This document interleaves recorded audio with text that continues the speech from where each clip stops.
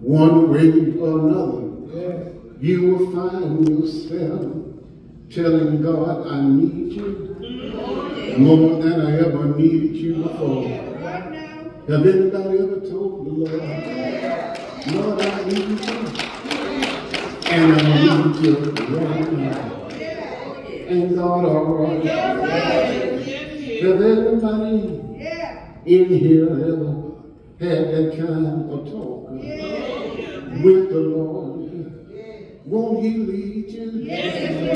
Y'all ain't saying nothing. Won't he guide you? Won't he hold your hand?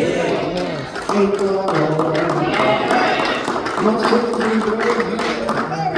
didn't go back home and start listening to B.B. King. No, sir. She didn't want to hear about the, the thrill is gone.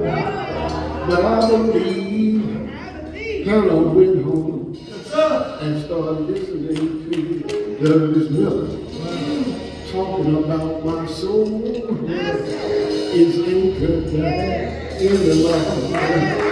Anybody's soul is truly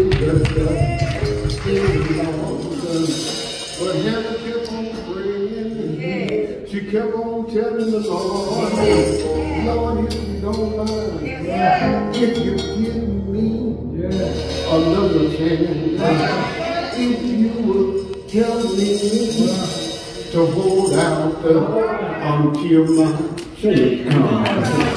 That all right? Hannah prayed, and she told the Lord, she told him, Lord, your will. Help me to hold out.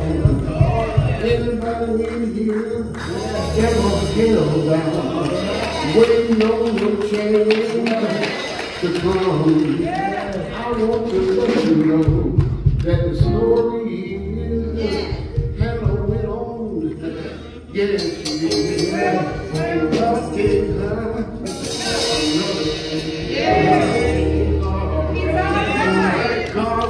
He will